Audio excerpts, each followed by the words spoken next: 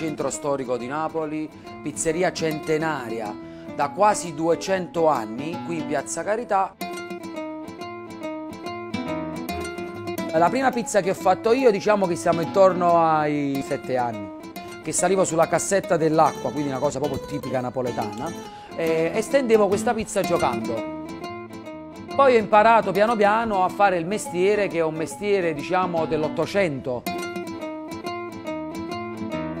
La pizza è, è un patrocino napoletano. E dopo di Napoli c'è nulla, quando si parla di Napoli si parla di pizza. C'è qualcuno che mi fa qualche domanda e mi chiede, dice Paolo, ma qual è la differenza tra pizza napoletana e pizza italiana? Pizza italiana si può fare in tutto il mondo, ma pizza napoletana solo a Napoli? Non è così focaccia, focaccina, uh, pizza da banco, pizza da bar. Invece pizza napoletana deve essere 2 cm alto, soffice, morbida e croccante, deve essere bella, uh, leggera, deve avere una buona maturazione, il cornicione al, al violato di 2 cm all'interno, quindi è un po' un processo un po' particolare. 1, 2 e 3. Quindi se voi ora vedete, noi non stiamo stendendo il cornicione. Tecnica napoletana si chiama pizza allo schiaffo. La pizza napoletana viene fatta con pomodoro, mozzarella, basilico, olio. Ora ci mettiamo tra i 90 e 120 grammi di fior di latte, un po' di basilico e rigorosamente olio extravergine d'oliva.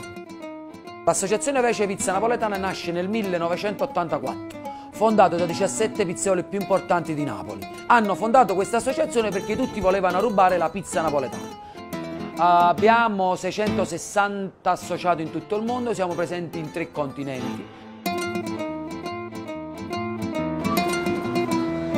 Tutti quanti prendono la pizza con la palla, noi la tiriamo con le mani. La pizza napoletana cuoce tra 60 e 90 secondi. Eccoci qua. Per vedere se è un buon impasto basta alzarla ed è molto leggera.